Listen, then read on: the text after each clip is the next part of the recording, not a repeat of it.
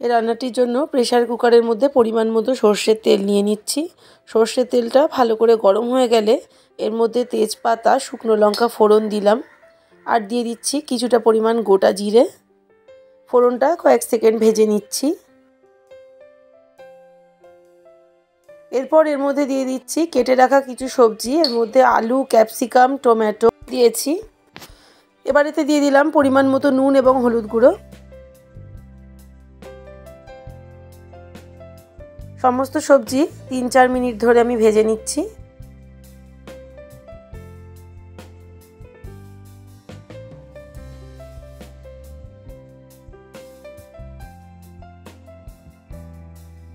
তিন চার মিনিট ধরে ভাজা হয়ে গেলে এর মধ্যে আমি দিয়ে দিচ্ছি ওয়ান স্পুন আদা বাটা।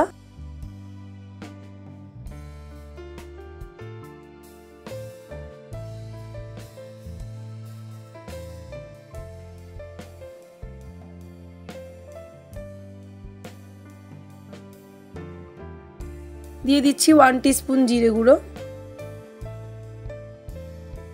হাফ স্পুন ধনে গুঁড়ো দিচ্ছি। দিয়ে দিচ্ছি দুটো কাঁচা লঙ্কা।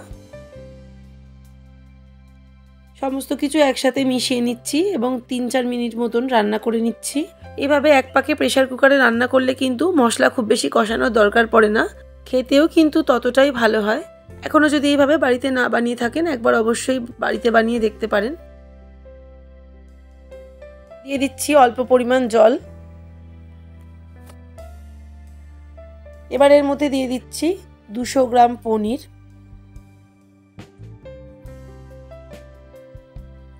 পনির এবং সবজিগুলো একসাথে ভালো করে আবারও মিশিয়ে নিচ্ছি।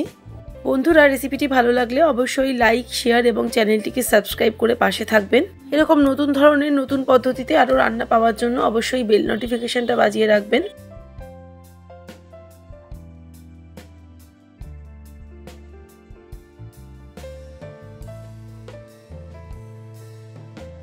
তিন চার মিনিট সমস্ত সবজি এবং পনির কষিয়ে নেওয়ার পর এতে আমি পরিমাণ মতো উষ্ণ গরম জল দিয়ে দিচ্ছি।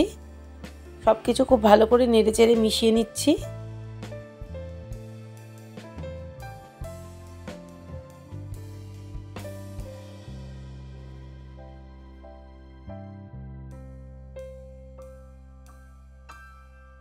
এতে আমি দিয়ে দিচ্ছি হাফ টিস্পুন কাশ্মীরি লঙ্কা গুঁড়ো আর হাফ টিস্পুন চিনি। এবার সব কিছু খুব ভালো করে মিশিয়ে নিয়ে প্রেশার কুকারের ঢাকনা বন্ধ করে দিচ্ছি। তিন চারটে সিটি হওয়া পর্যন্ত আমি এটাকে অপেক্ষা করব।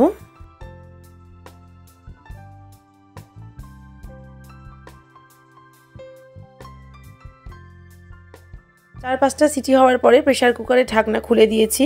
তৈরি হয়ে গেছে মাত্র দশ মিনিটে পনিরের ঝোল। এভাবে পনিরটা রান্না করলে খেতে কিন্তু অসাধারণ নমস্কার পনিরের ঝোল এভাবে অবশ্যই একবার বাড়িতে রান্না করে দেখতে পারেন। আশা করছি ভালো লাগবে। রেসিপি ভালো লাগলে অবশ্যই লাইক শেয়ার এবং চ্যানেলটিকে সাবস্ক্রাইব করে রাখবেন। ভিডিওটি সম্পূর্ণ দেখার জন্য ধন্যবাদ। সবাই ভালো থাকবেন, সুস্থ থাকবেন। পরবর্তী নতুন রেসিপি নিয়ে আবার দেখা হবে।